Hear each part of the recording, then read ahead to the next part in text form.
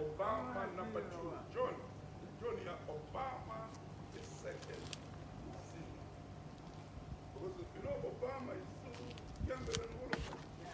You know President Obama, John, in like the 50 you know like Clinton, Clinton, the Clinton, the Tony Blair, Obama, they're the only ones who go